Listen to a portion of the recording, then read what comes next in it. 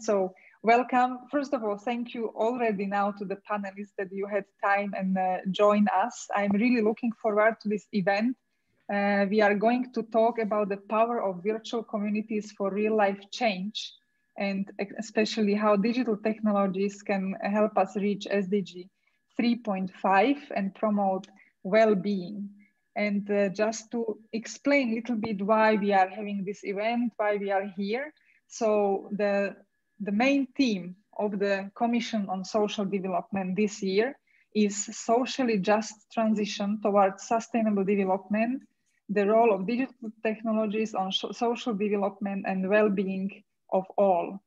And that's why uh, we, I, I, wanted to look a little bit on what then the social development actually means and uh, what, what would alcohol's role be in it. Uh, and so then we, if we just look at it, so social development actually means improving well-being of every individual in society so they reach their full potential. And this is, I know that there are many civil society organizations in this call uh, or in this event that are working exactly with this. Movendi International has been, uh, has been working with um, creating environments and conditions for young people so they can, for all people, that they can uh, live up to their full potential since the very beginning, since the start of the organization, which was in 1851. So actually for 170 years. Uh, I, I, have joined the organization as a young person, uh, as a teenager, with exactly this idea. I didn't know back then that it was called social development, but I just felt that uh, there is uh, people carry lots of potential with them and they do not get the chance to really realize it. And I already then wanted to contribute to creating these possibilities for people that they can do it. And now here we have here the uh, Commission for Social Development that I learned a little bit later about uh, that there is actually uh, governments agreed on certain actions that uh, to take to enable uh, people reach their full potential. Um, and that also means investing into people and it also means removing barriers uh, that, that are blocking this development or reach of the full potential. And that's what we are going to talk about today. Uh, we are going to talk about substances with a big focus on alcohol, but not only.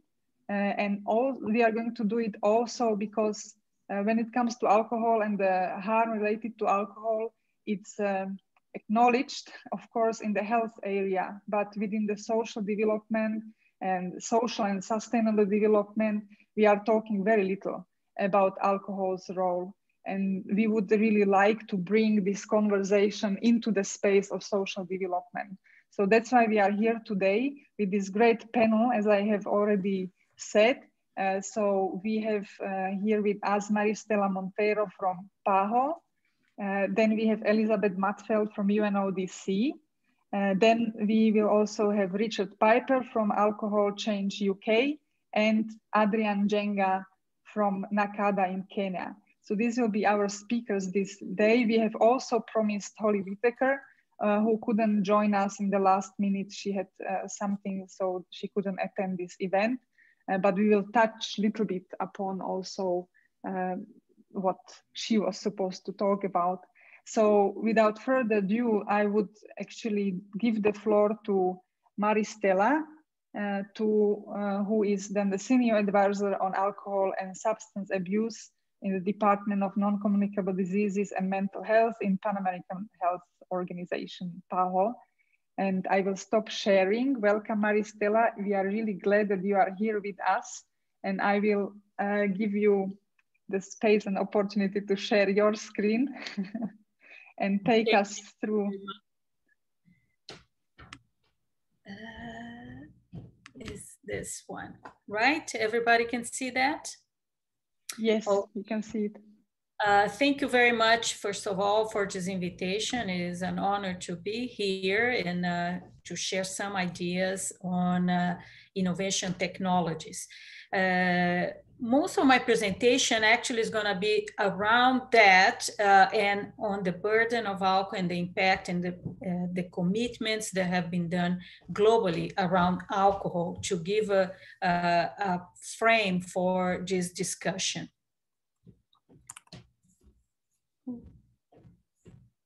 Yes. Uh, okay.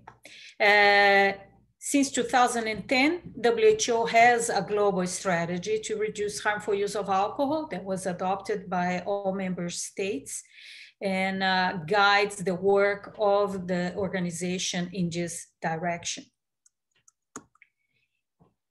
one year later, we, we had the WHO NCD, or non-communicable diseases framework, that uh, integrated alcohol among other risk factors and uh, chronic diseases. And alcohol is listed that uh, as a target with at least 10%, 10% uh, reduction by 2025 in the harmful use of alcohol.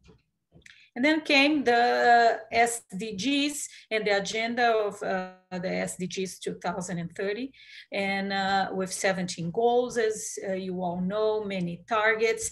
And in 3.5, alcohol is separated from uh, other drugs and is the only substance that it has its own target like that, and uh, measured by uh, the national alcohol per annual alcohol per capita consumption among those with 15 years of age or, uh, or older.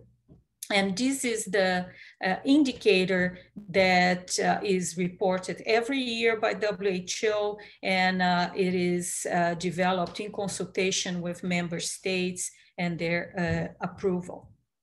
And to change uh, per capita consumption, you need a conjunction of strategies that I'll briefly uh, talk about. Alcohol is related to uh, many uh, conditions, not only health conditions, but it affects the social, environmental, and uh, economic development of uh, nations. And it's related to 14 other SDGs. It relates to loss of uh, jobs, unemployment, increased health expenditure. Uh, it affects uh, pregnancy and uh, fetus and uh, uh, children's outcome is a major risk factor for TB, for HIV, for uh, the major NCDs, mental health, road injuries, and other fatalities and is related to domestic abuse, uh, partner violence, and uh, children's uh, violence. And, uh, and also relates to the parental roles uh, that we want to promote as healthy roles. And uh, in terms of even related to water and sanitation, as uh, the work of uh, Movendi even uh, has come up with uh, estimates that uh, many liters of clean water are needed to produce beer or even wine and spirits, all types of alcohol produce uh, need hundreds of liters of clean water to produce just a liter of uh, the corresponding beverage. And uh, uh, therefore, many companies are trying to buy water resources from countries in exchange of small developments, but then to sell the water and to sell the alcohol later on. Uh, the costs of alcohol to societies are massive and way above what countries receiving revenues from selling alcohol. And uh, it alters the, uh, it affects neighborhoods, communities, uh, the public space, uh, adolescent health, etc. So we have, uh, from the WHO perspective, uh, the dimension of the problem has been well uh, described uh, with global burden of disease studies, WHO reports, PAHO reports as well.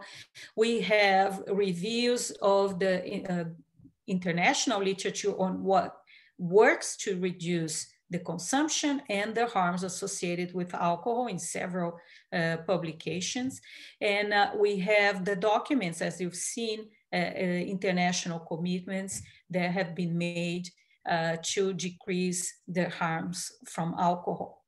And finally, we also have uh, proposed actions that countries need to take and uh, I'll talk a little bit uh, about that in relation to alcohol. So we have a conjunction of uh, information and still are lacking behind on implementation, on the political commitment to take alcohol seriously as a public health priority uh, as it is. The reports, we have uh, global reports that have been done for many years in WHO, and uh, we have been uh, in PAHO uh, releasing uh, regional reports based on more or less the same information, but more focused on regional analysis. And I'm just gonna give you a brief flavor of some of that information, why alcohol is so in, such a problem. In terms of per capita consumption, which is the SDG 3.52, uh, globally, as you see in, uh, uh, in purple, is uh, there has not been much change in the world in terms of per capita consumption. It is stable and uh, relatively high. And uh, in the Americas, we are about 40% above the global uh, rates and also not moving. And we see in, in the uh, Southeast uh, Asia and West Pacific increasing trends in, in uh, per capita consumption, but we see also in the European region that these trends are decreasing. It's the only region that is uh, decreasing significantly uh, Uh, per capita consumption. In the Americas, here is uh, a a brief overview, you can see country by country the changes between 2010 when the global strategy was approved and 2017 when the latest data that we have. And you see almost half of the countries have increased, another half have decreased, and the overall change regionally was very minimal. And for uh, heavy episodic drinking define uh, prevalence defined as drinking five or more uh, standard drinks per occasion at least once a month uh, the same uh, trend happens. Some countries have decreased some other countries have increased substantially and it's the average is stable at uh, more or less 25% and this is percent of heavy episodic drinking among the whole population, not only among drinkers. If you just select the drinkers, actually, uh, that goes uh, for men, for example, over 50% uh, of men drink uh, that in, in that way, in that pattern of drinking, which is very harmful to health. And about 25% of women do so always men drink more than women and in higher amounts. And here for alcohol use disorders, including alcohol dependence, we uh, are second to uh, the European region where the consumption is the highest uh, we follow with the second uh, highest prevalence in the general population of alcohol uh, use disorders, including dependence and harmful use.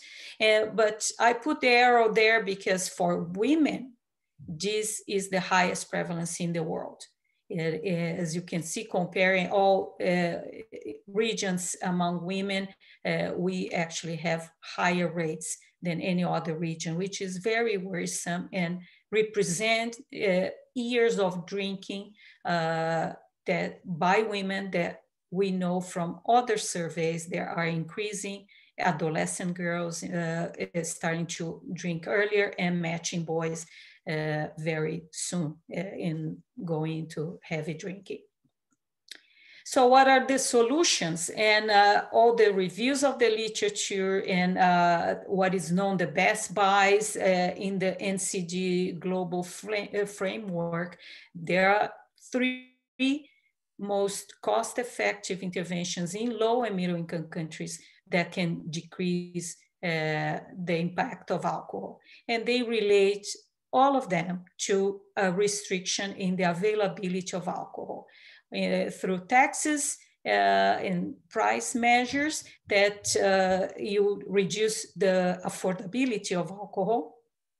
And uh, uh, enforcing bans or prohibiting alcohol advertising, uh, sponsorship, promotions, you reduce the social uh, desirability, let's say, of alcohol, and uh, and access through availability, and that can be hours of sale, sales to minors, places where alcohol can be sold, the uh, density of outlets are all uh, uh, policies related to the alcohol availability.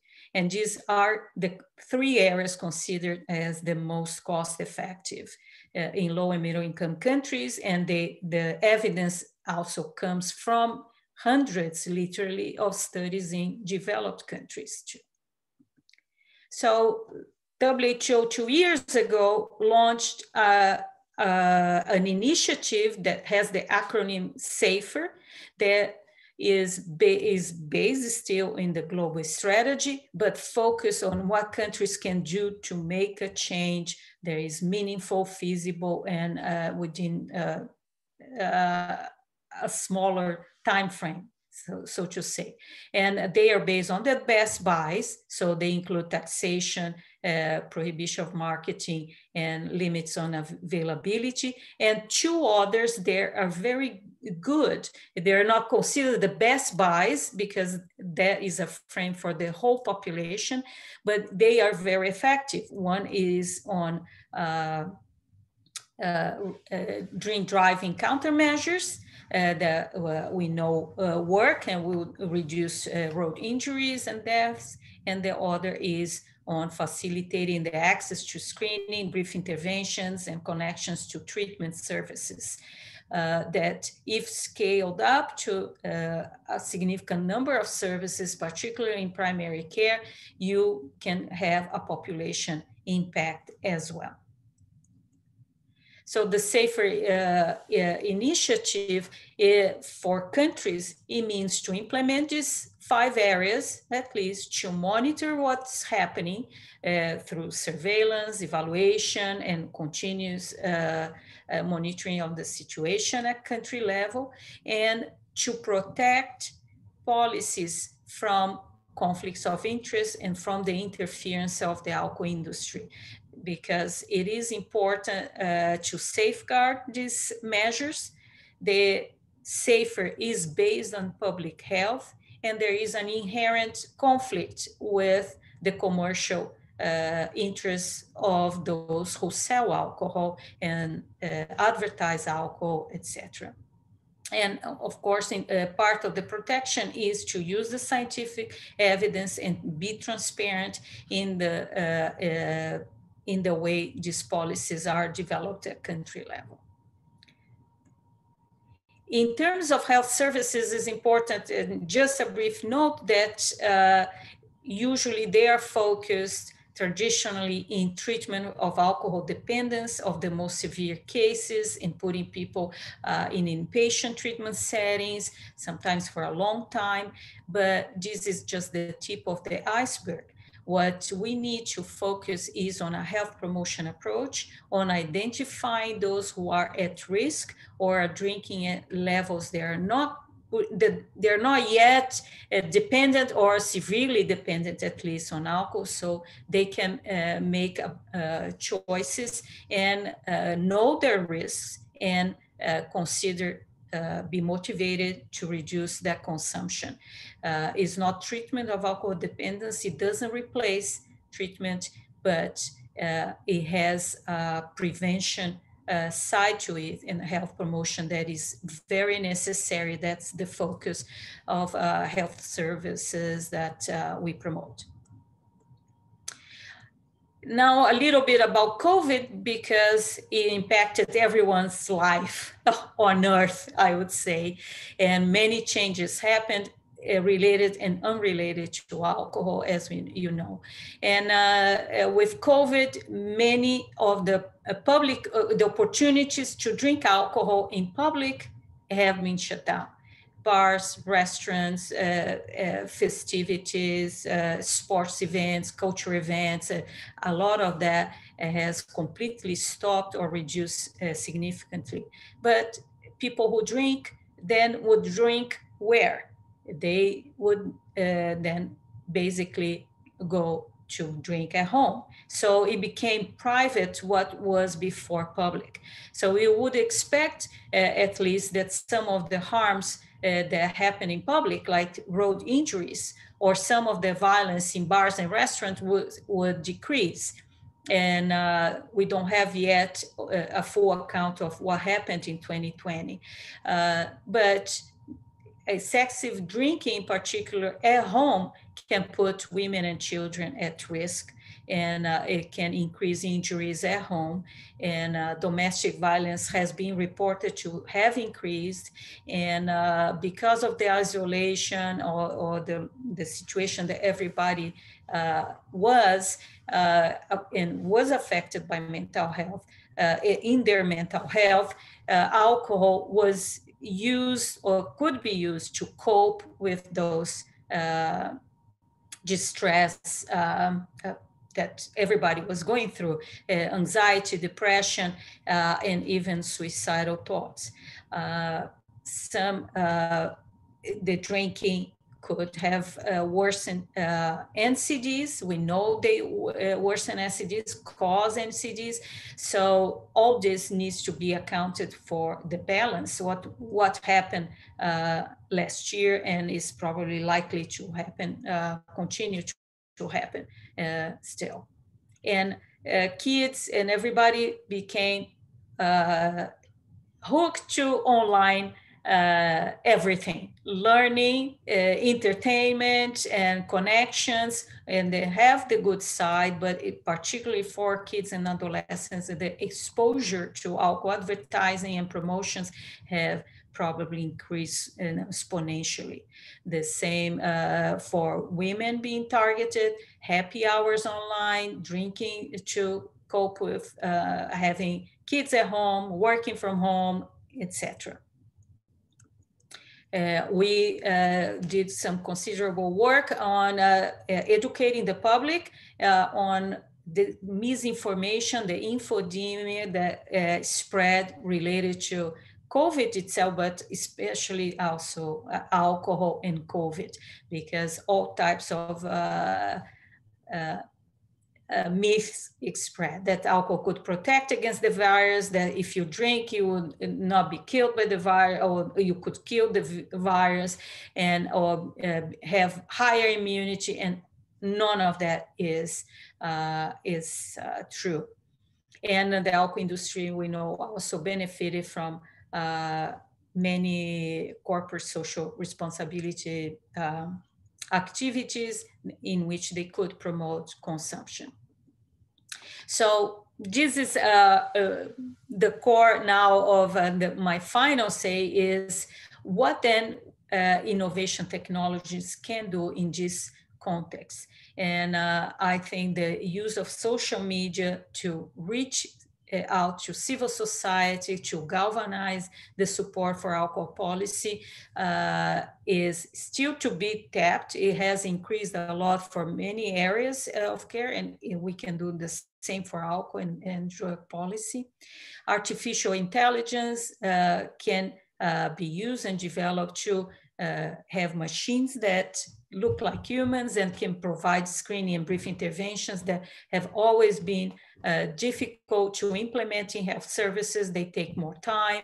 They uh, need a neutral uh, professional to not judge or, uh, or the patient not feel that he's being judged or she is being judged by a professional. And this can be done uh, with artificial intelligence. WHO just released one uh, on tobacco.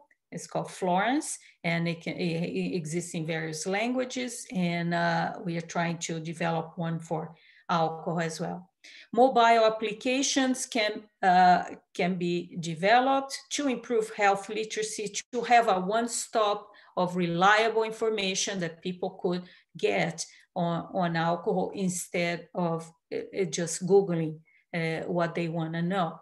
But they need to be uh, done with the uh, best available evidence and by reliable organizations the capacity building, the training activities can be done uh, via mobile applications, and several has been have been developed uh, developed and continue. And you can also train uh, policy advisors, uh, advocates, have on hand easily answers to common questions re, uh, posed by parliamentarians, etc.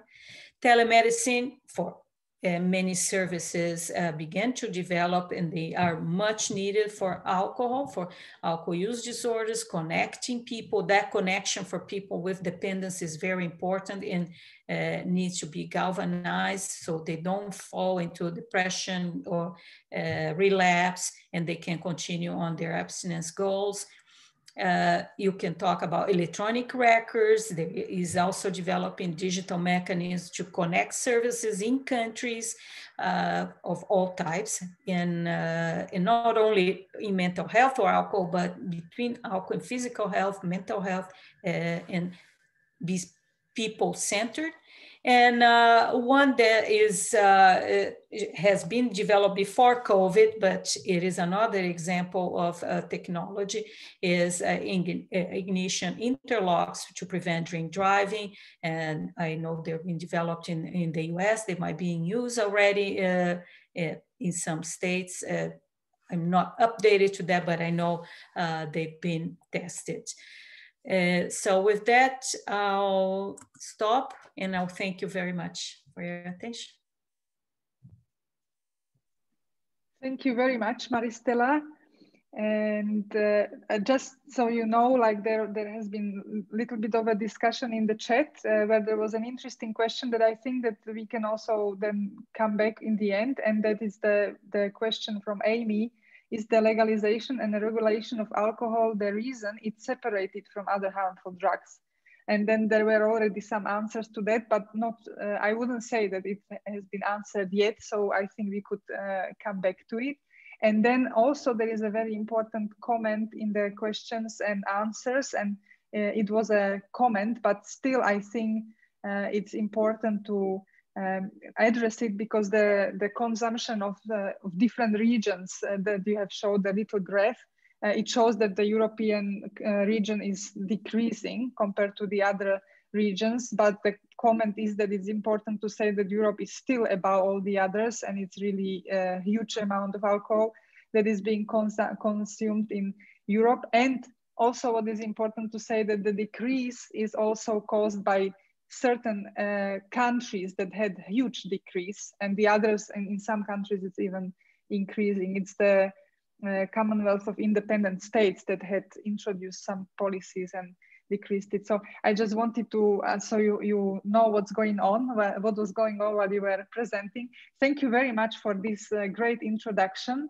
And uh, i will give the floor now, to elizabeth uh, Mattfeld from unodc uh, she will address a little bit the way how they work with uh, substances in general and increasing uh, awareness uh, through the digital technologies. So the floor is your, Elizabeth. Great, thank you very much. Um, let me just share my screen. I have to uh, make a couple of disclaimers in the beginning. Uh, although we're talking about digital platforms, it's not always my best skill. So I will tell you that um, I, I do want to, in the middle of the presentation, uh, switch and show a video. And sometimes that does take just a few minutes to uh, manage that task. So let me uh, jump in first by saying thank you very much to the organizers. Uh, you know, we've been talking back and forth and it's really uh, an honor to be asked to talk about this. And I'd like to uh, thank Mar Maristela for really setting the background, you know, setting the foundation because for me and UNODC, we are looking at drugs and crime. And so most people put us into that box that we can't talk about anything else. But you'll see in this presentation that we talk about substance use prevention. And so that cuts across all of the uh, substances, which would include alcohol, and many of you on this call, on this call are focused in that area. Also, I took the opportunity because I know we have a shorter time to talk about a very specific strategy that we have. But please know that uh, on our website you can find, you know, a plethora of documents, guidance, information around substance use prevention. Um, again, cutting across those substances, however we define them, and um, treatment documents as well. So I please uh, encourage you to look at that. But I wanted to talk a little bit about um, what we are we have as a digital uh, platform or a campaign. I don't usually use the word campaign, and I'll tell you why shortly.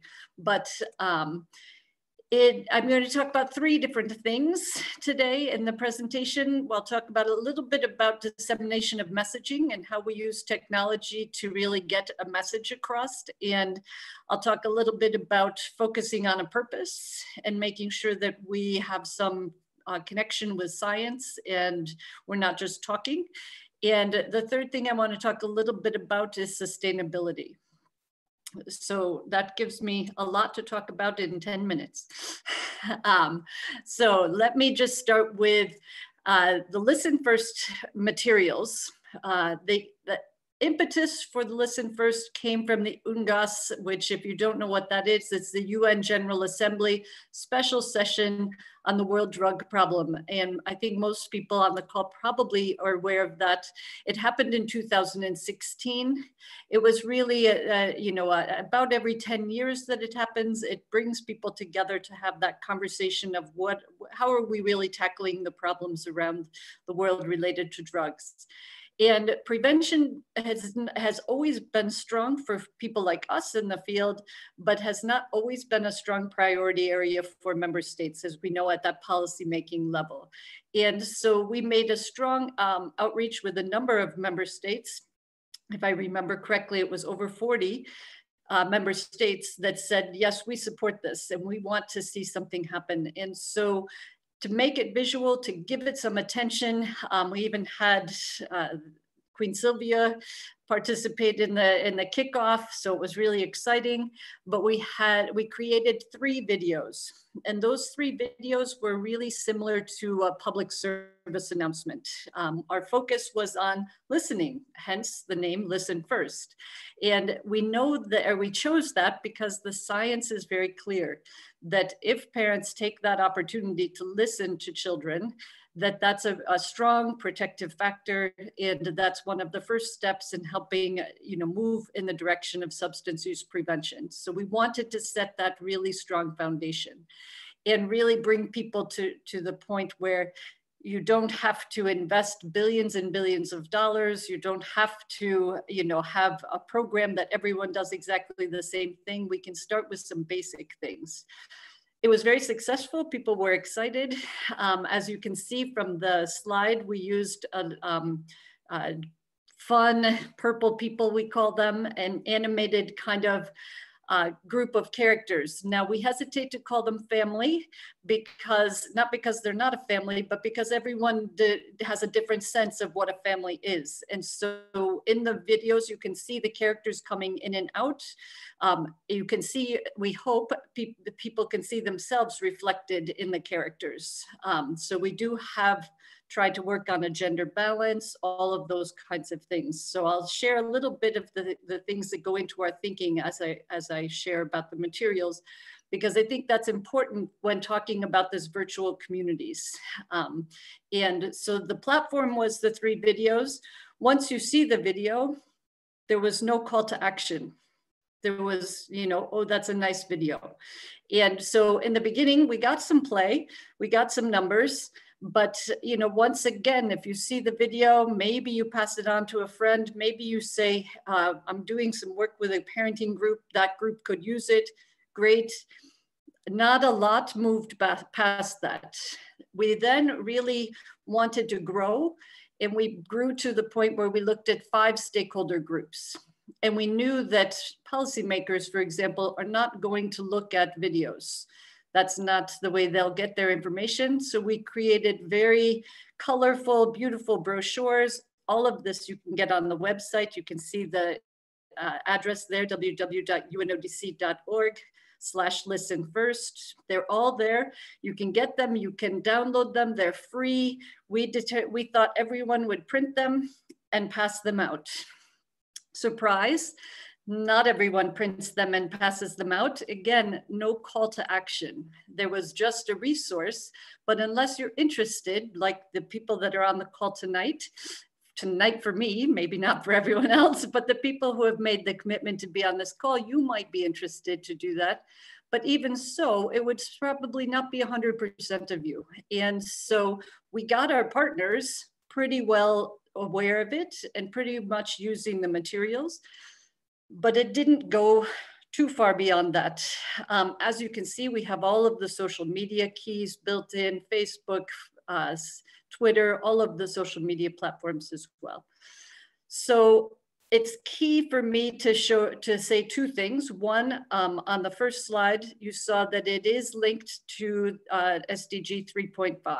And so I, I, just think that it's important that we say that because we're talking about health behaviors. And changing health behaviors we know and the science is very clear does not happen by just telling people things if it did, we would have no problem with overweight. We would have no problem with smoking. We'd have no problem with alcohol use because most people, even the children of the youngest age, if you ask them, is smoking okay? They know to answer no. They have that knowledge. It's our behavior that's the challenge. And so, yes, SDG 3.5, but also at the bottom of the screen, you can see our international standards, the link to the international prevention standards. Again, a key document for us because we always want to be able to link to the science. So in our first rounds, in the videos, in the stakeholder group fact sheets, that connection to science was very obvious to us. We knew that we were connected to science and we felt it gave us sense of strength but we, we realized that others did not. So this year, we had some funding and we wanted to grow and develop. Obviously, we want to sustain the momentum that you've developed.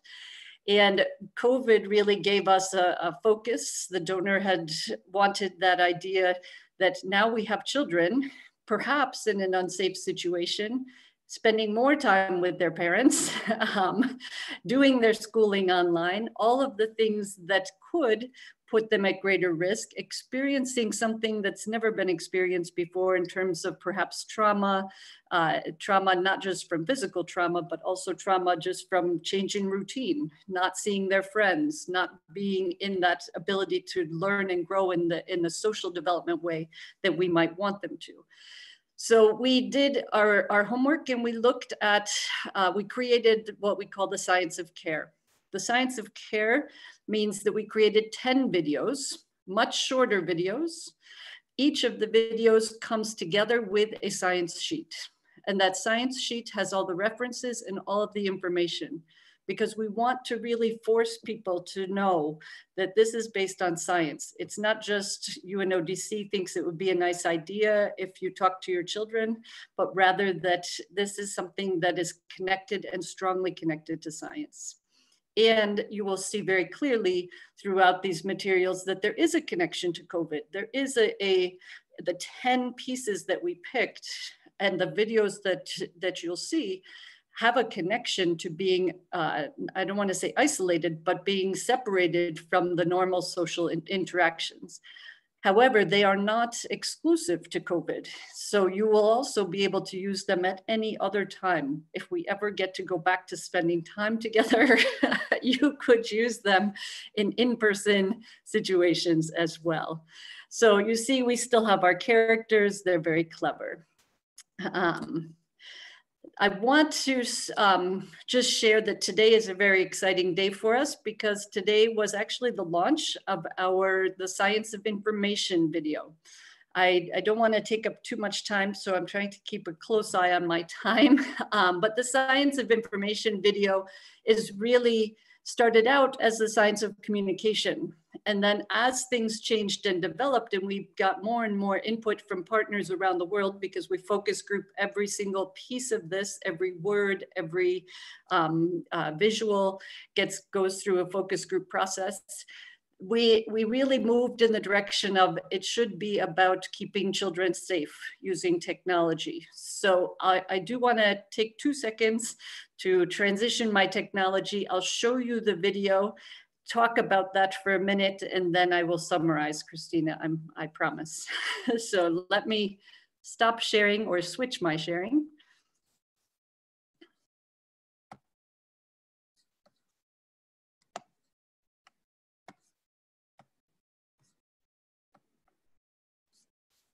And please give me a sign, Kristina, if it doesn't work.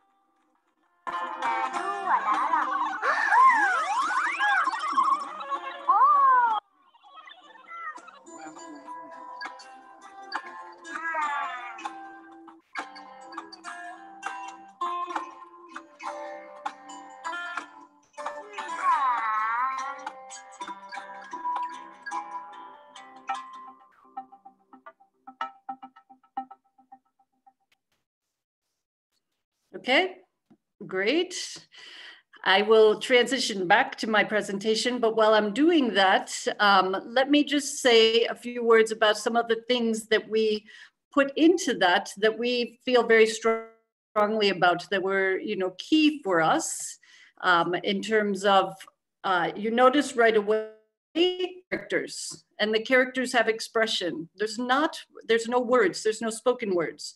Obviously, that helps us in the UN in the UN sense because it's globally able. People can pick up the message. You notice it's very short. For those of you who do social media and are really using that digital platform to get your message out, the shorter the better because it can be picked up in a social media post and it can be reshared more regularly. It's also picked up because it's short, it's picked up by the press. So we recently for this, um, we put out a press release within two hours, we had 80 uh, outlets in the United States pick up this um, and it grew you know, it grew higher than that over time, but, you know, that's a significant reach. We were at almost a million um, in terms of reach within just the first two and a half hours. Because it's short, it's easy, it's concise. You'll notice that we um, have technology. It's uh, the computer. One of the first things that we got feedback on when we used our focus groups was not everyone has a computer, not everyone has a keyboard. Um, and most people are accessing, most young people are accessing their technology via the, tel the telephone. So we in into the uh, video you know goes the the young boy having the telephone, and so we want to make sure again gender sensitive. We use sound, we use pictures, we use the color. Um, the other thing you may notice is we spliced in the pictures of real people. Those are real people. They are not actors. They are not people that um, we uh, hired to do this. That is people from around the world that are uh, partners, you know, people we have interacted with that have voluntarily sent us video that can be used in, in these videos. So you'll see real images interspliced with the um, characters. And that started to help us have more of a diverse feel. And it brought the message, remember I said sustainability, it brought the message to a place where people could see themselves reflected and they could see what they were doing. So um, uh, just so that I don't, ah, ah, it wouldn't go, now it went. I'm almost done. I just wanted to share a little bit more about uh, some hints that we've gone through because it has been a couple of years. One is in order to sustain the effort, you really have to keep changing and growing. You have to keep um, putting the effort in. We sustain it through building communities. So we have community, we have the website that is ongoing is changes on a daily basis. We have uh, success stories. So anytime in a success story at the community level, at the country level, at the regional level, or at the international levels. So as uh, I don't think Kristina knows this, but this will be uh, highlighted in our success stories um, that will come out the second or third of March. And it will be on the website before that. Uh, we also are moving in the direction of making it skills-based because we can get this message out to people, but changing people's behavior is, is a more uh, complicated process. And so in our next iteration, we are being we are focused on and we have some very powerful uh, help from the research world william crano and a couple of other people to really help us move the message in that skill-based place. And uh, Maristela also spoke a little bit about this but the idea of health literacy is a really important piece because that's where you have the cross section in some of the most vulnerable parts of the world. So where, where people are, are having a difficult time accessing health in general, this is a nice way to open the conversation. This is a nice way to get information to them. I'll just give one simple uh, uh, ex, uh, example. We have been working on an app which will help people, refugee settings, where the, the, the vaccines, not for COVID, but for regular vaccines, health related well baby vaccines, are provided to the family and it's tracked on this app so that the family receives a notification saying, hey, it's time for your child to get their vaccine. And we have an appointment made at this day and time. And so what we will do is incorporate in these small videos, almost as if they're commercials into that app. So at the same time that the family gets that message about their vaccines, they will get some of this other information. Um, and then looking at trying to be flexible. So I leave you so that other people can speak. I leave you with my contact information and happy to share or answer questions as we continue. Thank you. Thank you, Elizabeth.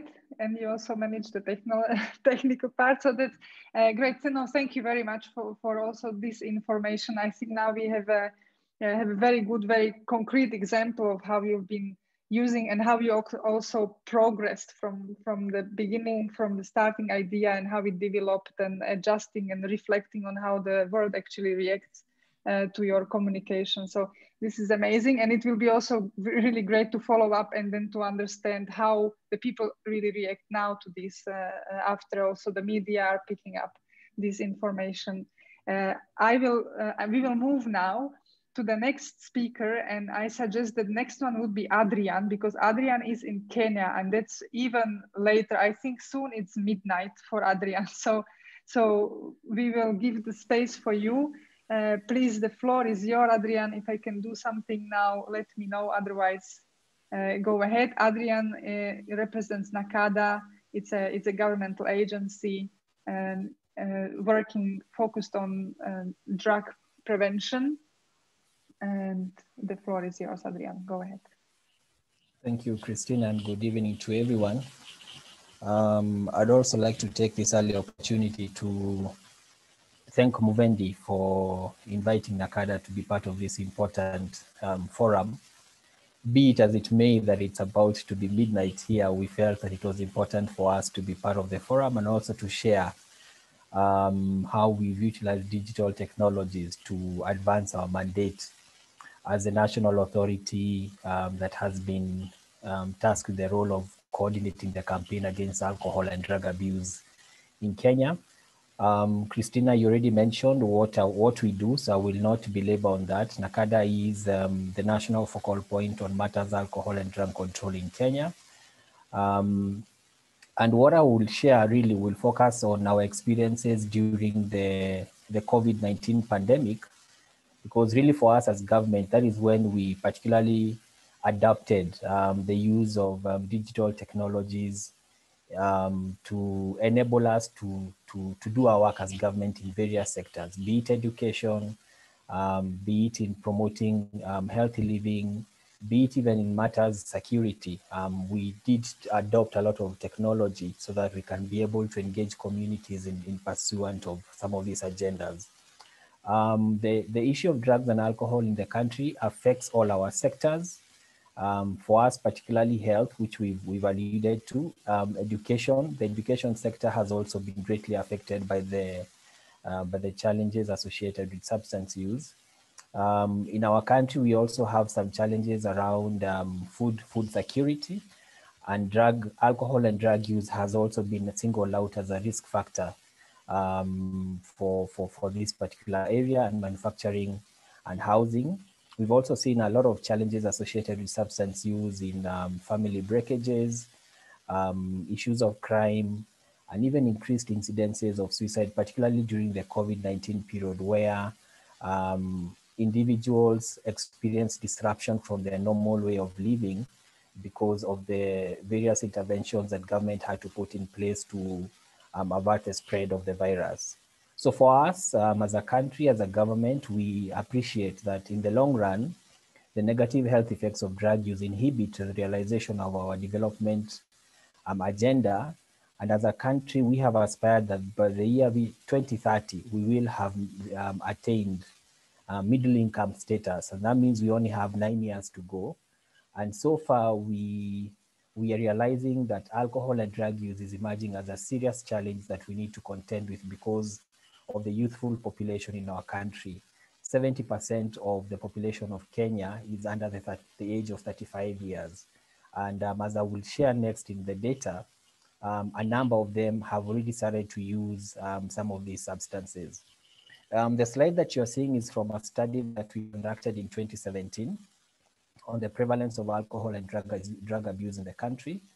And as you can see, alcohol, um, the prevalence rate for alcohol was at 12.2%, meaning that 3.2 Kenyans at the time we conducted the study were, were using alcohol. Um, tobacco was at 8.3%, um, 2.2 million Kenyans were using tobacco.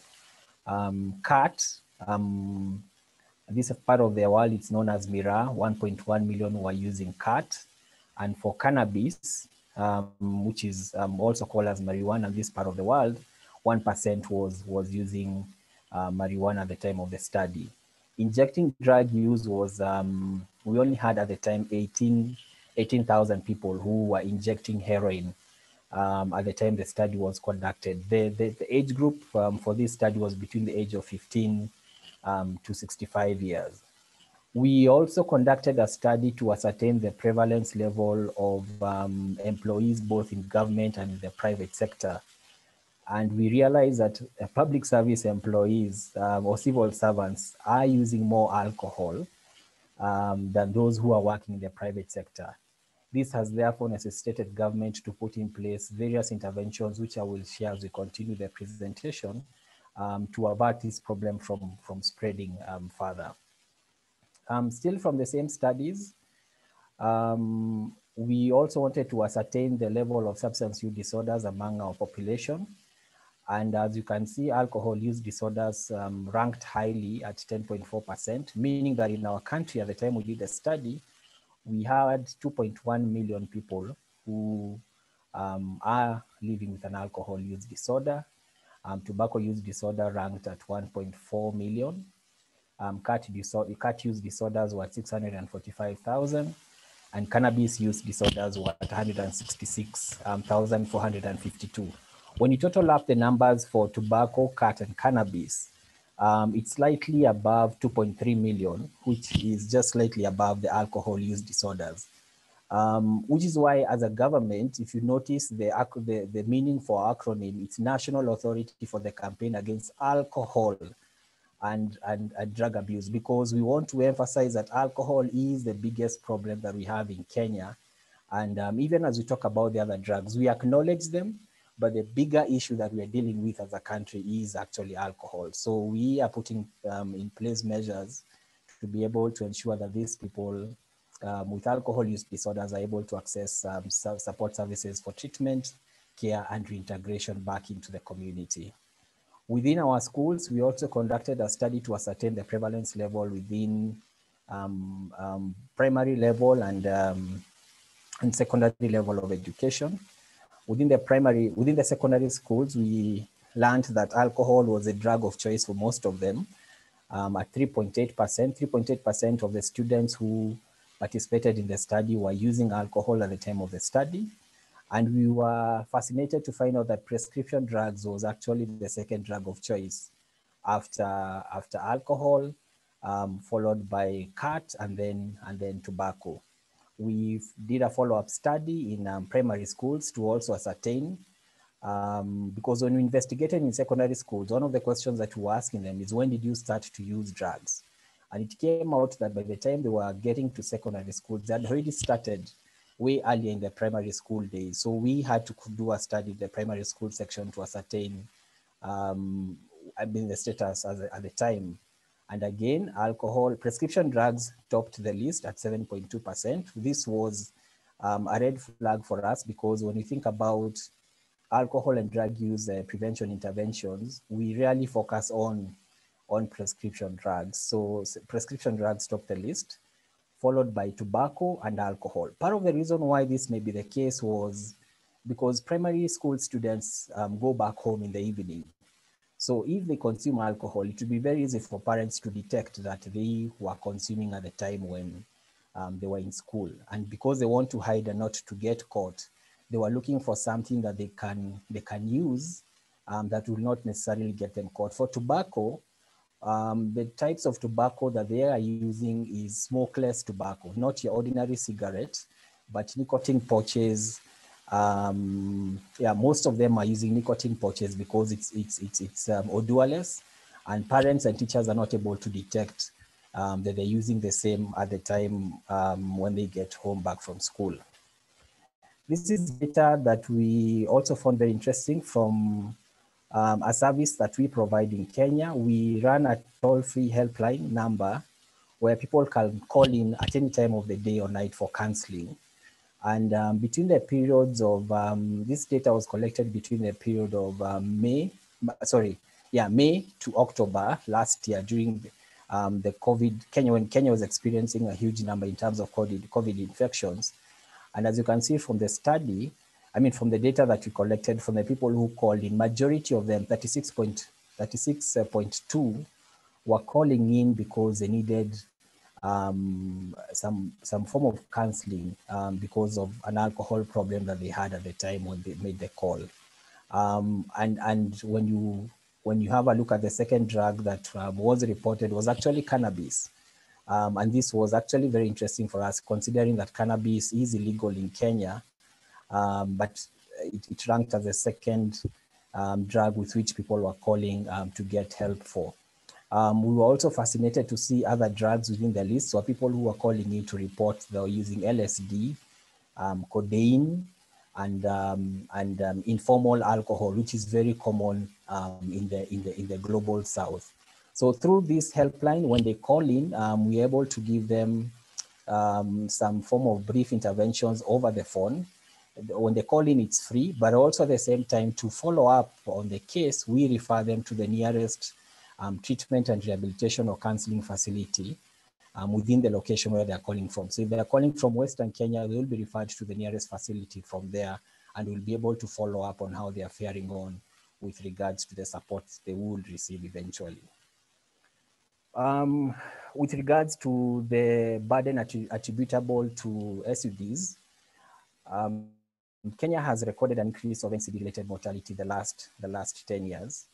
Um, when we look at our health sector now, um, the data that we're receiving from the Ministry of Health is um, NCDs account for 50% of, of morbidity and 55% of mortality within, within the country. And um, the top three killers in Kenya now is number one, infectious diseases, number two, cardiovascular diseases, excuse me, and the third cause of um, mortality in Kenya is actually cancer. And we know the risk factors um, for, for, for the NCDs. And for us, we do acknowledge that alcohol use is one of the key contributing um, factors to this rise of NCDs that we are seeing in the country. Our health system um, was already burdened way before even COVID, uh, these NCDs came into the picture with HIV. Um, Kenya has among the highest um, HIV prevalence rates within the region. We had 4%. Um, and way before even COVID struck the world and now with other NCDs, our health system is completely overstretched. And when we add the burden of alcohol use disorders and other substance use disorders, um, we are not able to carry this, this, this burden. So for us, prevention is a way to go, be it at primary level or secondary level, so that we avert um, those who are already using from developing um, a disorder. And for those who are not started, for them to not start in the first place. Some of the quick interventions that we've been running um, during the COVID-19 period um, this is informed by various um, conventions, the three drug conventions, the global strategy that has been alluded to earlier, the SAFER initiative, and then we are also in the process of domesticating the UNODC international standards for both prevention and treatment so that they can inform our programs. And as a speaker before me has indicated that all the programs that we're implementing need to be evidence-based. So we've singled out our intervention settings and that is right from the family because it's the most powerful socialization agent for children and young people, um, communities, schools, and, and, and workplaces. So within the COVID-19 period, because of the restrictions um, that were introduced by government on, on, on, on people coming together, and in any case, schools in Kenya were closed from March of 2020, and children were at home for between March to December, and they just resumed school in January, we were running a number of um, campaigns or infomercials using different um, settings, that is social media, mainstream media, and just today, we launched another campaign um, on back to school under COVID because we realized that children have been at home for nine months. They've just come back and um, we've not debriefed them. I mean, they've gone through a lot at home within these nine months. And already in the country, we are starting to experience um, the effects of the same. Within the first two weeks of students resuming school, we are starting to see um, a lot of unrest. Schools are being banned. And it feels like um, these students are imploding. So we've started to reach out to parents, to teachers, to support them to be able to identify what are some of the challenges that these young people are going through and how can you debrief them even as they're coming back to school after the nine months. Of course, we also run a, campaign that we're calling Positive um, Parenting Campaign, informed by the realization that the, the family is the most powerful socialization agent for children. So we are reaching out to parents, equipping them with parenting skills, um, especially during the COVID-19 period when they were at home, what do they do with their time? Um, we were also reaching out to other policy makers so that they can help us in ensuring that alcohol is not sold within the home environment to protect children from the effects of the same. So this is what I alluded to earlier. This is a press statement that we released um, with regards to the upsurge of, um, of, of, of bannings in schools and student unrest and indiscipline, encouraging all stakeholders to play their role in giving opportunities to children to speak because of the many things that they experienced when they were at home during the, um, the that period that schools had been closed. Um, I also alluded to the fact that we have a big chunk of civil servants who are using alcohol. We currently have 730 civil, 730,000 civil servants within the government. So now government has ensured that we are mainstreaming the prevention of alcohol and drug abuse within that intervention setting, which is one of the settings that is recommended within the international standards, the workplace setting. And again, because we cannot meet, um, a lot of these trainings are now happening virtually. So this is an example of one of the trainings that we undertook with one of the universities in Nairobi um, for their committee, which will now be mandated to run the campaign within that institution setup. With regards to the provision of counseling and treatment services, um, as I mentioned, we have the toll-free helpline number where Kenyans call between 8 to, 9, to 5 p.m. We have to limit it to 5 p.m. now because of the curfew that we have in the country due to COVID-19.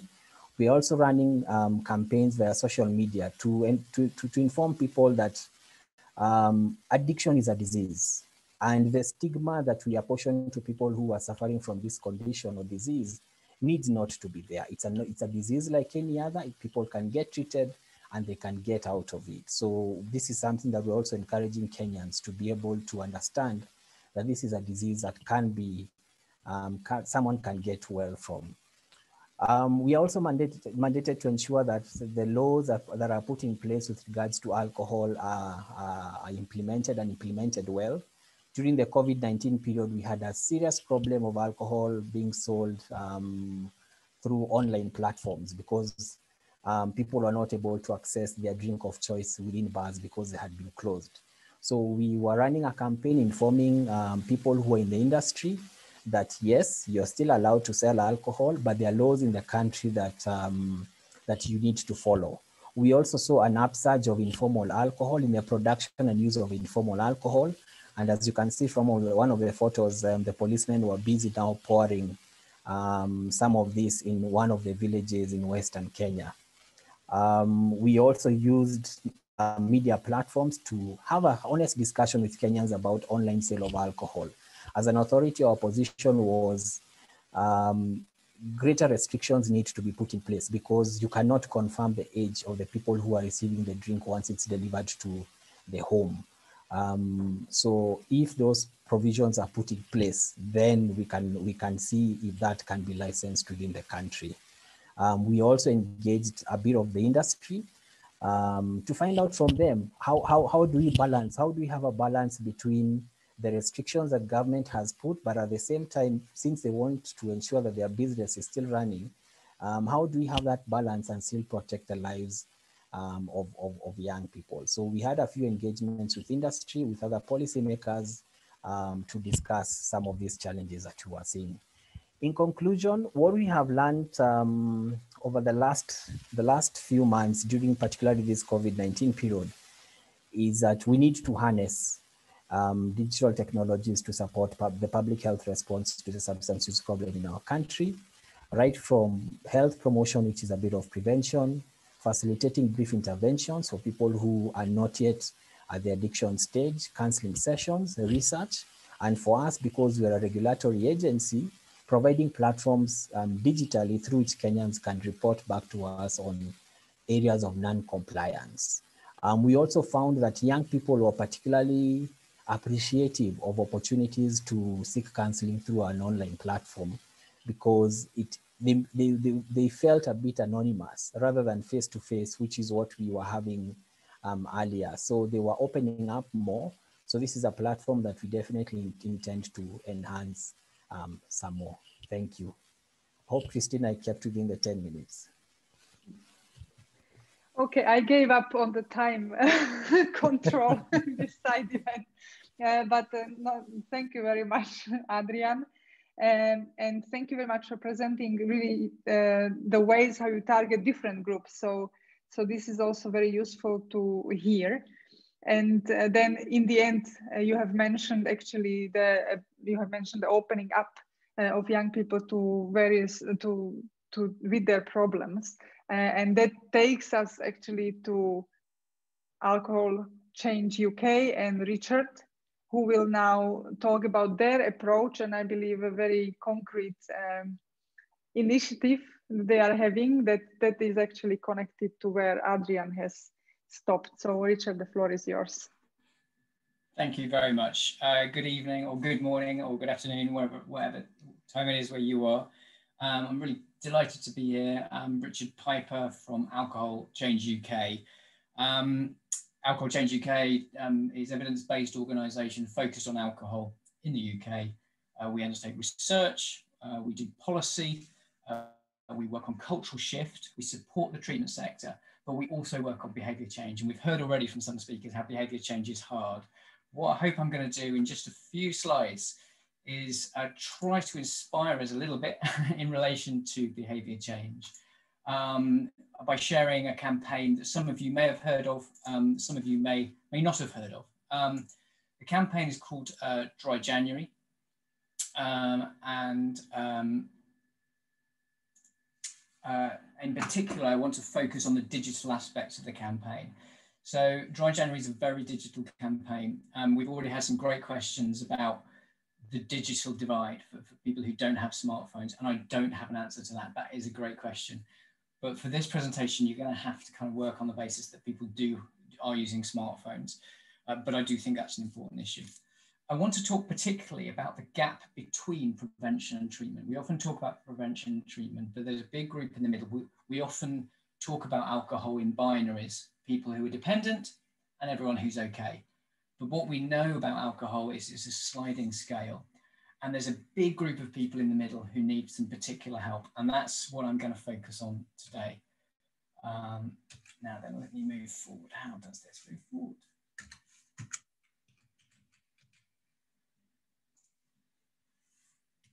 There we go. Uh, so, um, more people die from alcohol use than all illegal drugs in the UK. I think you know this actually. We've covered this. I think some of the speakers have really covered the issues of alcohol harm. I think I just want to emphasize that final point. We still have to keep making this point that excessive alcohol use is caused by society, not just by individual choice. That's a really important point because what I'm about to say is actually about individuals. Um, and the reason for that, we as an organization work for policy change, but we also believe that behavior change is powerful and that empowerment is an important part of the picture. So I'm going to talk about Dry January, but I'm also going to talk about a mobile application called Try Dry. Try Dry is the name of that application. Dry January is basically uh, run by a not-for-profit. It's a people-led campaign, and it's important to say it's a behavior change campaign. It's not about fundraising. Now, despite the name, it's not about people going dry forever. Um, and it's certainly not just about January. It's actually about long-term change and it's to help people reset their relationship. There's an official campaign, uh, which we tend to capitalize, DJ, capitalize, D, January, and people sign up to that. And, and we've, uh, we're engaging 150,000 people across the UK uh, now every year in that. Um, there's also an unsupported dry January. That's just people who, ha who have a month of alcohol on their own. That's been shown to be really, really less effective. Um, so if I, if I would say one message to take away from my presentation today is if you want to run any campaign like this, try and make an official campaign with support. It's the support package that makes the difference. However, you know, 4 million to 7 million people in the UK are doing a dry January um, unsupported. And, and we kind of see them as a, an, an audience who eventually, hopefully, will come and find the official campaign. How does it work? Well, of course, it's a dry month, um, but key to it is this free package of support. Um, I think we all know that being told information doesn't make a massive difference to us. Um, you know, when I was overweight, I knew I was overweight. It wasn't a problem of knowledge. The problem was about behavior. And in particular, what how Dry January works is it's experiential learning. It's learning from your personal experience. Um, and there are four big things that people learn. The first thing that they learn, they break this a brick of a brick of a wall of denial that people have gets broken. The wall of denial gets broken, and they realise that controlling their drinking is necessary to them. They realise it's got out of hand. And that's probably the most important step of all, actually. And if people only learn that one thing during a dry January, then they've, they've learned something important. But they also learn it's possible um, to be without alcohol, and then they start learning it's desirable to be without alcohol, which is really exciting. And then they start to create a new identity for themselves. Now, the support package is really, really important, and the whole thing is provided free. Uh, apart from our book, uh, which um, is about 99p on Amazon, but uh, which is about a pound or, or, or, or, not much more than a dollar or a euro. Um, social media is really important to engage people.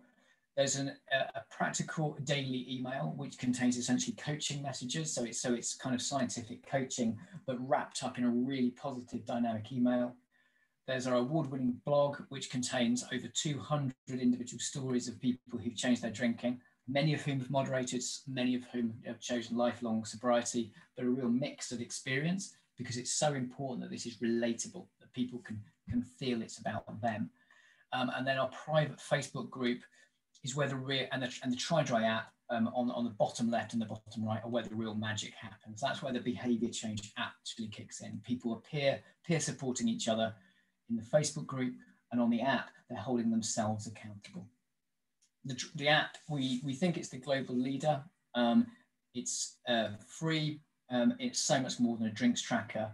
Um, I'm sure Kristina can make these uh, and Mike can make these slides available. So I'm not going to go through this, uh, but just to say there's a lot of great stuff in the app. I want to draw attention just to the second bullet point. We don't call it Audit C. On the app dashboard, it's called what's your drinking risk score? Um, on average, people do that within 20 hours of going into the app. It's entirely optional, um, but they tend to repeat it over time. And critically, as well as the app being an incredible tool for people who use it, it also produces incredible data for us. So we're able to track people's drinking journeys over the long term. And that data is, is, is absolute gold dust. We know that people's um, the quality of people's recording of data is also much, much higher. So when people are doing self-report questionnaires, we all know the self-report questionnaires on alcohol, historically, all the research shows that they underestimate the data on actual drinking levels within our app is, is, about as accurate as we think people can get because it's a daily record. Essentially, it's a daily diary of people's drinking. The app has now been translated to French and German, uh, and we're able to translate to pretty much any language. I think it's really important to have a clear theory of change. Um, I'm, I'm just going to focus on the middle section here. Um, I've already mentioned who Dry January targets essentially people try dry January as a challenge. It's a dry January is a bit like the acquisition tool. It's what gets people in. It's what gets people excited. But actually, then they start to experience the support package. They see other people. They read. They learn. Um, and of course, they find a new tribe. They they reach a different way of thinking. They feel supported and they feel inspired. So they have those moments of learning. If, for example, you have a drink on the 15th of January and loads of people around you encourage you to treat that as a learning experience, not as a, oh God, I've ruined it, right, forget it. That completely shifts your journey. Um, and then at the end of the month, people set themselves new goals. A common, common one is 50 days. Some people will go for 100 days. Once they succeed on that, and they may not succeed immediately, but they will set, set smaller goals, longer goals. People go through a bit of a journey of going a bit ambitious, and then they bring it down a bit, and then they get they find their right level. They start achieving those goals, and then they start rethinking who they are. And this embeds a new behavior of no longer engaging in risky drinking. Um, I think it's clearly the case. Um, we've yet to do the, the maths on this, um, but millions and millions of pounds of state resources are being saved because people are not going into treatment. Uh, it's a graph with figures going up. that's what, you know what that says. So that's, that so it shows that this campaign um, in the last four years has, has um, more than quadrupled um, in, in interest. Um, but it's also really important to say that those figures from the UK, it's also a global campaign. It's an app on, on Play Store or, or on Apple Store. So anyone can download it. This year we had our first participant from the Antarctic. So we're very excited to welcome, welcome her on board. Um, and uh, in total, we have over 170 countries using the um, Try Dry app. We also have the campaign delivered officially in the US, France, Switzerland, and now the Netherlands and we license that campaign for other countries for them to use. We don't want to come and do it for you. We want other countries to do it the way they want to do it. Um, we've got a few simple rules to check the campaign to be run kind of uh, with good quality, uh, but we it's all about individual countries um, owning this and, and, making that their own. Um, where we've got a, a, long list of countries interested in Dry January 22, and anyone who wants to work with us is welcome to contact me. Um, I've got my details on the final slide. We're particularly keen to work with developing countries and also to learn how we can adapt the campaign to work better in other nations. It's a really impactful campaign. The human impact is important. It's been very thoroughly evaluated. We've had university psychologists and researchers, one of the most evaluated alcohol interventions um, of, of, recent years in the UK. Uh, and the app has also been uh, evaluated and users consistently play a part in keeping it, keeping it changing and improving. First thing to say is that those who do a supported dry January, the official campaign, 70% of those stay dry. But the people who just try going dry on their own, um, there are half as many people, 36% stay dry. So people are twice as likely to be successful if they do the proper version. And that's why that is so important because we want to create behavior change. We want to create long-term success. By the end of the month, this is just by the end of the month itself, um, we've got really high figures of, of success levels Interestingly, at the beginning of the month, January, most people put weight as the thing they most want to get. But any of you who, who've ever had tried dry month or tried cutting down your drinking will, will know the sugar craving that, that follows. And, and so many people end up um, eating, eating a lot more than they would have done otherwise.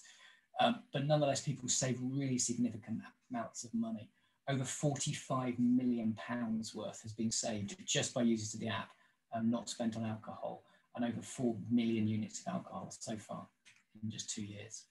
A few of the quotes, people talking about an absolute change in their relationship and feeling empowered to choose to drink or not drink. One of the key phrases we, we kind of use is the choice to drink or not drink rather than drinking by default. And drinking by default is so common in the UK. It's just what you do. It's like breathing. It's like waking up in the morning, brushing your teeth, and drinking it. Feels like an, a, a part of this essential part of life. But making it an optional part of life is, is really critical. And that's what the campaign starts to create.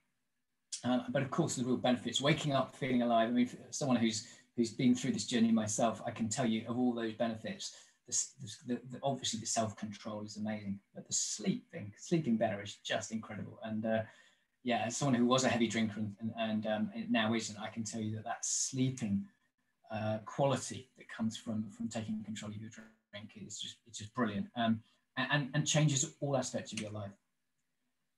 Of course, I've said it's not about January. So what's happening long term? Well, 97% of people by the end of the month plan to stop drinking or drink less than before. Um, that's a pretty high figure. Uh, but critically, six months later, 67% are, are actually drinking less. So we all know how it's great to have intentions, but people are not just finishing dry January with good intentions. They're finishing dry January with good intentions and a packet of experienced learning that they can then put into practice. So they stand a far much, uh, far better chance of success. Um, 1% of people plan to drink more. we don't know what's happening with those guys. Um, this is um, from the official evaluations. This is the, uh, uh, uh, those of you may know that WEM, WBS is a well-being measure. So this is a common well-being measure. Um, the dotted line shows the general population of the UK. So going into dry January, the people who do dry January have lower well-being than the, than the average population. Um, not by much, but they have lower well-being. By the end of January, after one month, it's way higher than the general population, their well-being. But what's critical is after six months, that's the, the third point on this chart on, on the right, um, it's still much higher. And, and, those of you who know this is a scale out of five, and we're talking about global averages here or, or national averages. So actually a jump from 3.3.5 to 3.65 is a really significant, statistically significant um, shift in well-being for, for, people who've done a dry January. Uh, and then secondly, this is about drinking. And as you'd expect, going into January, the beginning, uh, the audit C score of people who do a dry January is, is over eight. So a really high audit C score. Audit C, for those of you that don't know, is a three, a simple three question uh, a quiz about how, how much people drink, how often they drink, and how often they drink excessively. With the general population, it's just over, just under six. Uh, six months later, um, that, that population of heavy drinkers um, is, is, not far off the general population, um, and many of them will actually be below it. But on average, they've taken control of their drinking and got pretty close. And that trend line continues. After 12 months, although it does start to curve, it more or less matches the general population. So what we're doing, people, is we're turning heavy drinkers, risky drinkers, who are on their way to alcohol dependence, we're turning them around or helping them turn themselves around. It's important that we say that they're taking credit for this. Uh, we have huge media impact, um, um, not just in the UK, but also worldwide, uh, which keeps us busy. And that also allows us to talk about alcohol and culture, which is so important. Um, and it's, it's, it's one of the best known campaigns in the UK It's better known than Extinction Rebellion, Me Too. It's nearly as popular as the Poppy Appeal, which has been going for 60 years. Um, so a really well-known campaign. Uh, and it has huge social media engagement. We trend on Twitter pretty much every year in the UK. Um, and uh, yeah, we, we've started getting celebrity endorsement for it as well. And finally, I think it's really important to say it's a campaign that engages everybody. Our oldest participant this year was 89 years old. Um, we have uh, uh, predominantly, uh, it's fantastic at engaging women. Um, our campaign materials are really accessible to, uh, to, to, to, those who have less money, uh, for the poorer parts of the population as well. Um, this is not just about kind of a, a, white middle class woman. Uh, we've got figures this year um, seeing uh, ethnic diversity really coming through strongly. Uh, we've done a lot of work on that this year as a result of um, our, our response to the Black Lives Matter movement. Um, and we've, we've changed the way the campaign works and we are seeing a big growth in particularly some communities in the UK that don't like to talk about alcohol. Um, Dry January is really opportunity. People may do it privately, but they're still doing it. And because they're doing it, they're doing it with us. Um, they're getting those benefits and allowing themselves to, to make a big difference in their lives. Um, and then just in conclusion, and I know I've moved pretty fast through this, and apologies if I'm talking too fast for some of you. Um, uh, basically, globally, dry January and try dry could save millions of lives, improve tens of millions. We know about the child abuse, domestic violence, road traffic accidents, all the other harms you've already heard about, and I'm sure many of you know about.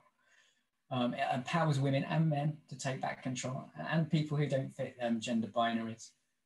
It will save billions of pounds that could be spent on specialist treatment services or later treatment. But also a really exciting opportunity here is this creates a digital movement of campaigners who drive social change. Uh, we don't stop when people have got control of their drinking. We don't stop the journey. We actually start with people then starting a new journey of becoming campaigners, becoming activists. And one of the things the UK just doesn't have, I don't know if you have it in other countries, I'd love to hear about it. But in the UK, we don't have a group of activists who care about alcohol harm. It's often left to specialists like us. But we're starting to see now, we're up to now over 12,000 uh, activists uh, and we're getting MPs saying we've never heard um, from people about alcohol before. We're having people talking to us about alcohol. It's changing our thinking. And that's how we change policy. So from behavior change, we can shift culture, and from culture, we can shift policy. So all of our work links together. So you're very welcome to get in touch. I'd love to hear from anybody who's, who's, who's with, us, with us this evening. Uh, and of course, looking forward to having a look at the questions that may have popped up while I've been concentrating on speaking. So Thank you so much again, uh, Movendi, Kristina and Mike for inviting me. It's a real pleasure to be here. Um, and yeah, would love to hear from anybody. Thank you very much.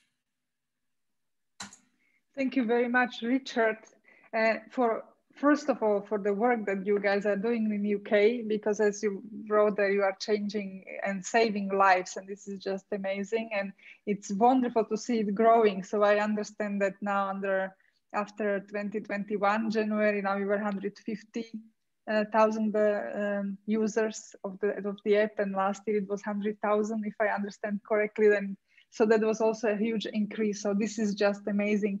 Uh, thank you for that, and also I believe the people who are still uh, here and are listening, they could hear you that you are there to also assist and help them uh, to introduce the app also elsewhere because it could have a huge reach. So this is just amazing, as I said. And um, I will I will now, guys, share with you a few slides to wrap this up.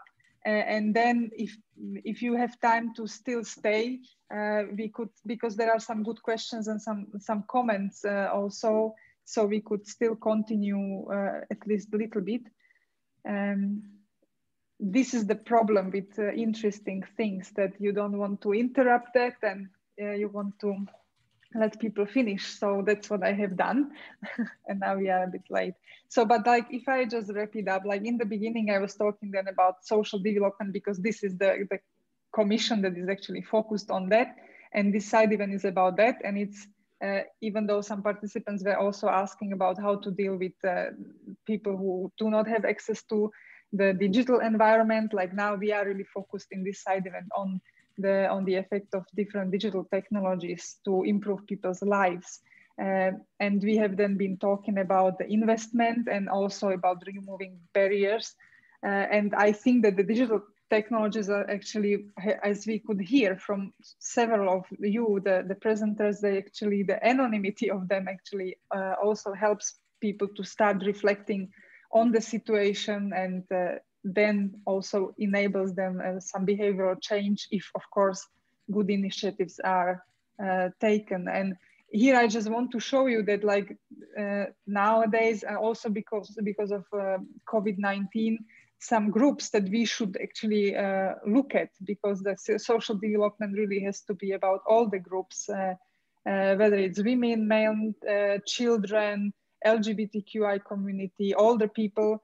Uh, but what we have noticed during this uh, pandemic is that these uh, groups of people are actually doing worse when it comes to alcohol and uh, then consequently their well-being. So here are just few examples of different um, uh, articles about different groups of people. So here we have LGBTQI, then we have older people having um, more problems with alcohol. Then we have several uh, or many times actually mentioned how women are now uh, doing worse because, because of uh, COVID and alcohol.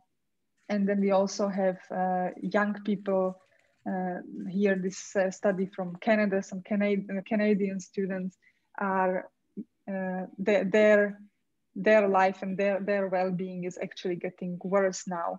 And the problem is that it's really, the governments have not managed to address it. And that's that's the problem that it's not uh, as uh, also I think Maristela in the beginning uh, mentioned that the the political will and the commitment is missing and also just like the understanding of the um, of the issue. Uh, but then we also have the industry practices that I really wanted to touch upon. Uh, as we mentioned, like this is this is a question of policies. This is a question of behavioral change this is definitely not a question of responsibility of one single person or like it's never just the individual problem uh, and then we are having also a huge industry playing in uh, and this is the documentation from australia how the industry was actually behaving during covid uh, actually supporting and fueling uh, the alcohol problem. So they were promoting alcohol use uh, as the way to catch up uh, socially online. So have a Zoom meeting and have some uh, some drink. Uh, then they were encouraging alcohol consumption as a way to cope with boredom, stress, and anxiety. There were really commercials, or there still are uh, talking about these issues and support solving it, solving it with, with alcohol. Uh, then they, the, there was an increase in exposure to, to alcohol advertisements in social media. So uh, our colleagues from FARE have made a study and understood that every 35 seconds, people were actually exposed to some ad. And uh, this is this we could see also before, but now it's uh, now it even increased the uh, healthy words uh, connected to alcohol and uh, like alcohol is organic and it's ecological and healthy and through that encouraging people in alcohol use. And i think this also needs to be considered and then we are coming back to what again Maristela presented in her presentation uh, and when talking about safer and that how important it is also to protect from the interference of alcohol industry and monitor uh, the practices and expose them.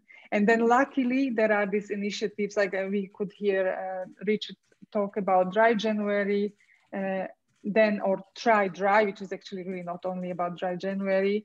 Uh, then we were supposed to have Holly here who would be talking about um, her online community really tailor-made to for for um, for people to reduce or really quit using alcohol and then we know also that we have uh, something similar and this is all digital so this is uh, also amazing like how how much how much help people are getting thanks to these technologies. Uh, hello sunday morning in australia and then we have then we know also of soberistas that was originally one simple blog and actually it's very similar to with, with all these uh, digital supports like it was it was started by people who in the beginning just started writing a blog sharing their experiences and then it grew into communities and now uh, many people are benefiting from that. So i wanted to mention it but still we have these great communities but we, we, are really not reaching everyone. And uh, and we could see the headlines uh, not enough people are uh, still getting help. And i think that it's because we are also really missing the policies and that are creating then this environment that would help to reduce the alcohol use. Um, so this would be my very fast wrap up uh, and uh, i would like to thank you from my side uh, for participating and being here with us and uh, speaking. But now i would I would, I'm not closing the conversation yet because I really would like to attend to some questions from, from people in the questions and answers, but also uh, in, the, in the chat. And I have seen that some of you have already uh, also replied, which is really great.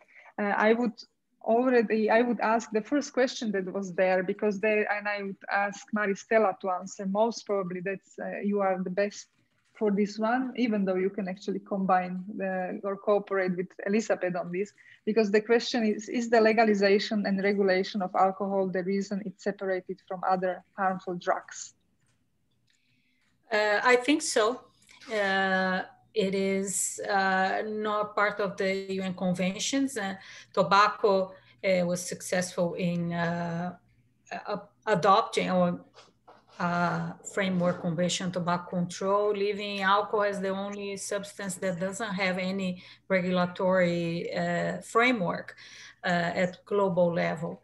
And uh, it is very difficult, but there is a growing number of uh, experts, member state scientists, advocates that um, don't see any other way uh, than having uh, such a convention or, or something that will be binding and uh, especially because alcohol is a global commodity and uh, uh marketing and access and if and social media uh, make it very difficult uh, to control at national level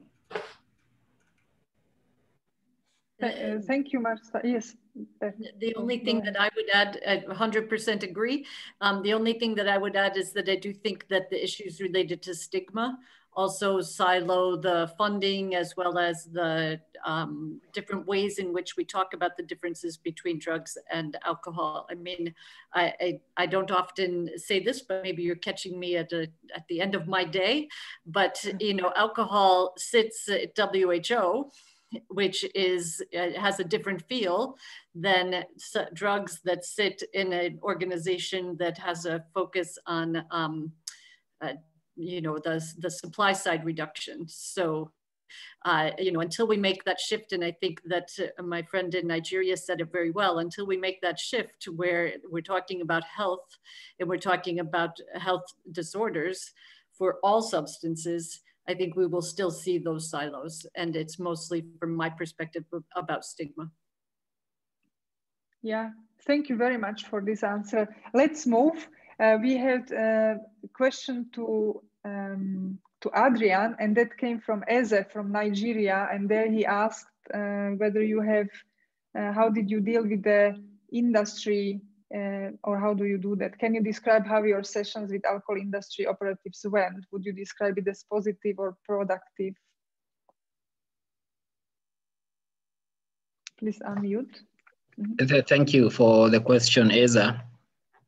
Our focus has been on um, implementing the WHO recommendations on modifying the drinking environment um, especially around this season um, with regards to the pandemic. So we, we work with uh, what we have in our country is that the industry has set up what we call bar owners associations.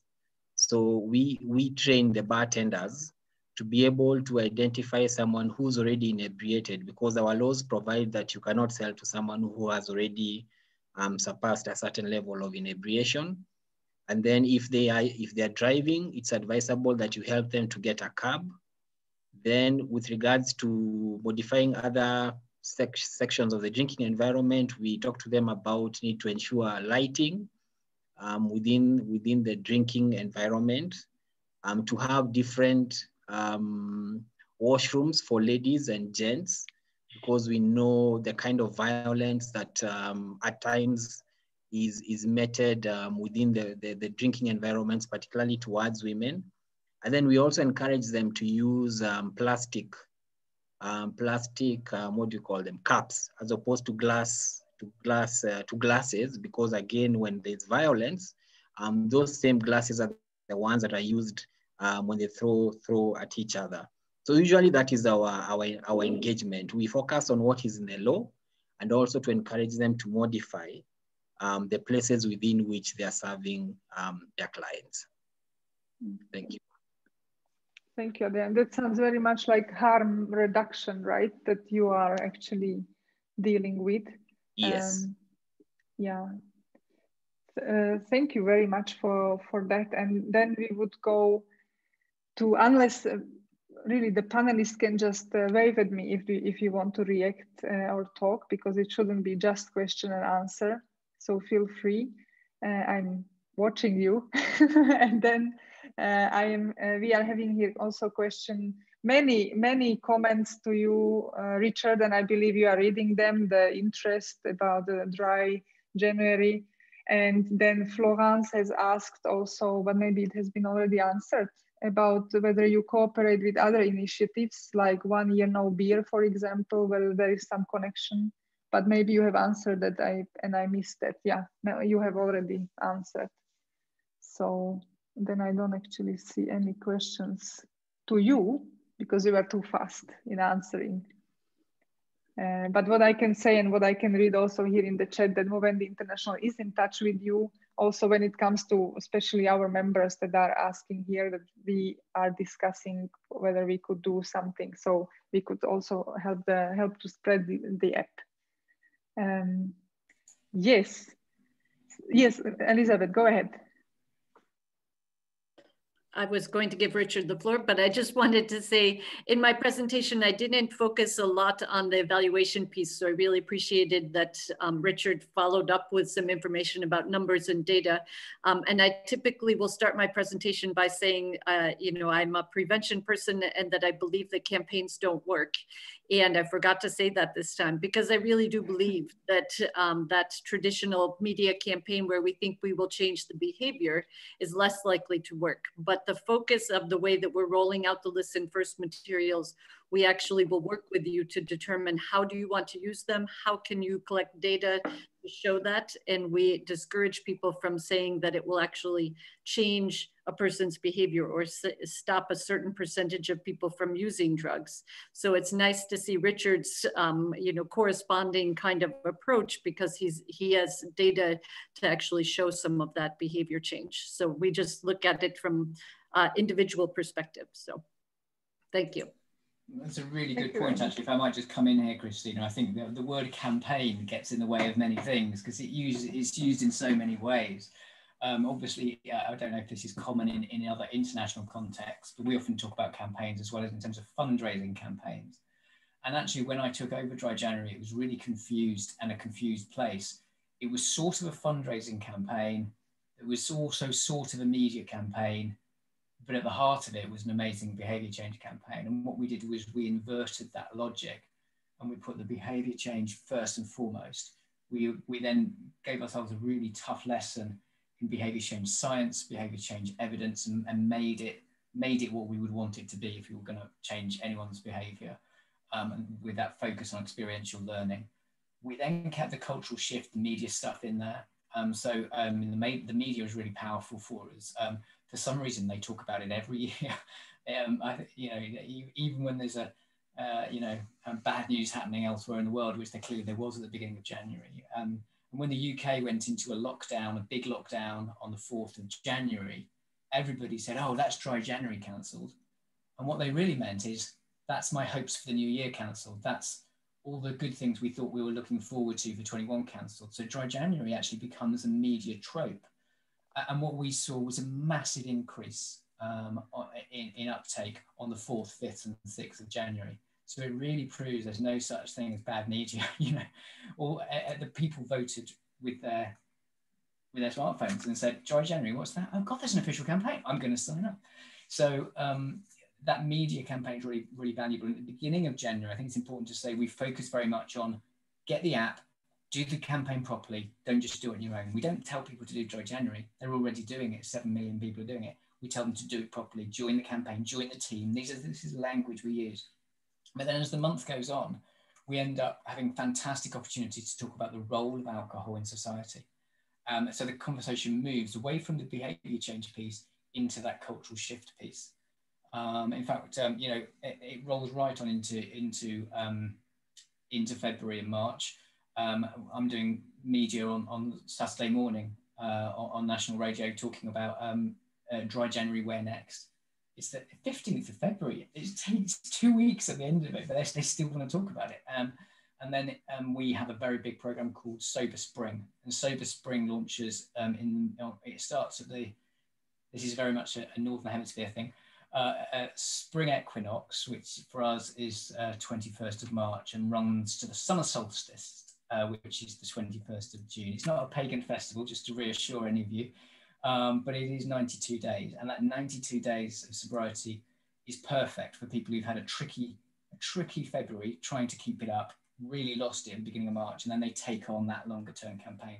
That is nothing to do with media. Nobody hears about it. Nobody in the world knows about it but once we've got people in through Dry January, it's that acquisition process. So we acquire people through a kind of fun campaign that's not really very challenging, but actually once people come on board and come in the real team, realize they've got a bit of a challenge, but realize they can solve this problem with other people around them, inspired by other people's stories. So our alumni from 2018, 2019, 2020 stay part of the campaign, stay part of the group so everyone's getting this kind of passing forward, this kind of amazing learning they've developed. Um, kind of nobody goes through an experience that someone else, else hasn't already been through before. And then once they're in the tribe, then we then we move them on to 100 day challenges, Sober Springs or whatever. So mm. it's important to say that I believe that behavior change can happen. Uh, it's hard work. It's hard work, mm. but I think with the right campaigns, it's really possible. Yeah, uh, thank you, Richard. And I think what is what is also great, what you have mentioned in the, uh, earlier, is that the, there are activists actually coming out of this campaign and they are supporting the policies. And I think this is, this is what, because I, I believe that the policies are actually very, very important. And we could hear that that's the population level there. That's where we can actually catch people uh, and, make some, make some kind of change. Uh, um, so so that's great that this is actually uh, growing support this kind of application. Uh, we are really now over time and then also I can see that people are dropping out slowly but surely. So I would just uh, like to make a very little round uh, that every one of you would maybe summarize with one, two sentences uh, in relation to the topic, like what, what is it that you would like to, how would you conclude this side event, please? and we, we could, can I start with Maristela? Can we go as we have started in the same order, please? Okay, I'll be short. I really liked your presentation too, uh, Richard, and I was thinking uh, fit Latin America too, so I'm gonna follow up. Uh, but uh, I think we need to look at all the challenges that we faced last year uh, and are still facing as opportunities for uh, new ways of engaging people, advocates, and ways of reaching out for services, for advocacy, for prevention. Thank, Thank you very much. Beth.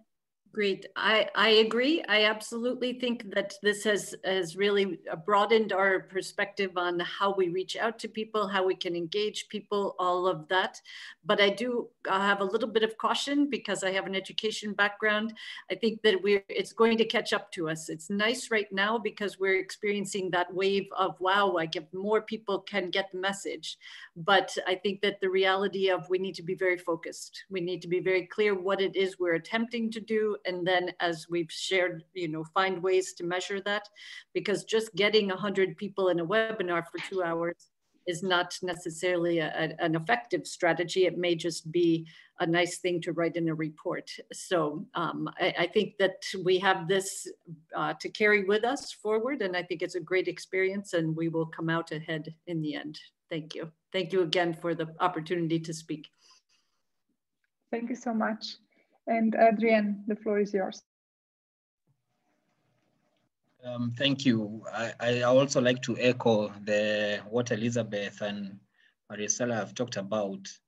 Um, let's use um, the tragedy that we experienced last year to inform um, new interventions that we can we can now implement within uh, both prevention, treatment, and for us the regulatory space for Elizabeth. I'm looking forward to see where digital technologies will if they will find a home within the third edition of the, of the drug use prevention standards, because I know within the second edition that that was not mentioned. But now that we are living in what we are calling the new normal, um, once the, once the Um, these interventions have been evaluated and um, the levels of efficacy are beyond reproach, then I'm sure they will find a home within, within the standards. And thank you, Movendi, for putting together the meeting.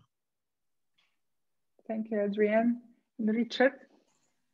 Well, thank you. I've, I've learned so much from the other speakers as well. Really, um, I think that these sorts of events are always so valuable. So, so um, I always feel like I've learned a lot more than I, have offered. So, so thank you um, to the other speakers as, as well, and, and, for all the wonderful people who've been um, sending such interesting ideas uh, and questions in the chat. So, so thank you. Just I think for being part of something altogether. For me, that's what so much of this is about. So, thank you. Yeah, and thank you very much also to you and from my side, and also to all the participants. Um, respect to everyone who is uh, here now up very late. Uh, thank you. We will be in touch in some way, or we will come uh, with some new uh, event, webinar, or side event in the future. So please uh, stay tuned. Thank you, and a good night or good uh, rest of the day to everyone. Thank you very much. Bye bye. Bye bye.